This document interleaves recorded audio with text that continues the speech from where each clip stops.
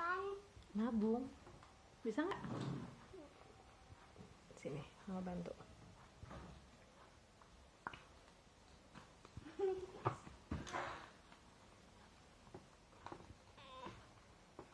Dorong. Bisa kan?